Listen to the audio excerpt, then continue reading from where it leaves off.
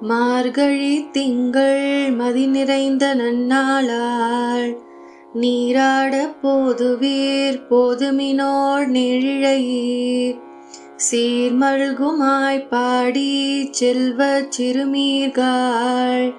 கூர்வேல் கொடுந்தொழிலன் நந்தகோபன் குமரன். ஏறார்ந்த கண்ணி யசோதை இளஞ்சிங்கம். கார்மேனி செங்கன் கதிர்மதியம் போழ்முகத்தான் நாராயணனே நமக்கே பறை தருவான் பாரோர் புகழ படிந்தேலோர் எம்பாவாய்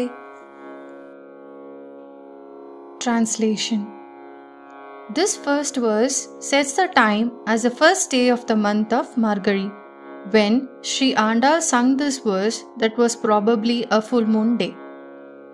Andal invites the young girls of the prosperous Ayarpadi and everyone to symbolically bath and join in the excellent and exemplary worship of Lord Sriman Narayana, who will always bless us.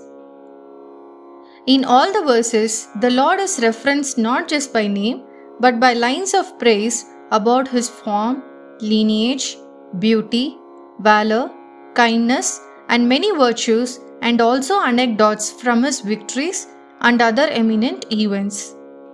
In this verse, the Lord is referenced as Krishna, the son of Nandagopan, who is ever vigilant with a sharp spear to protect the baby Krishna the lion cub like son of the beautiful eyed Yashoda, the Lord who is dark and whose face is radiant like the sun.